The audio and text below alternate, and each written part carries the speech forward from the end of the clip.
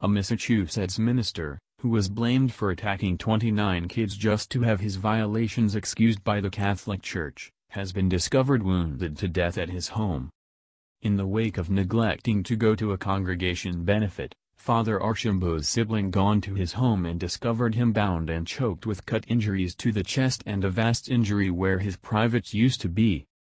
Police trust the cleric was tormented before his demise by more than one attacker and kicked the bucket after a huge sharp edge, most likely a cleaver, was embedded into his rectum, harming a few interior organs.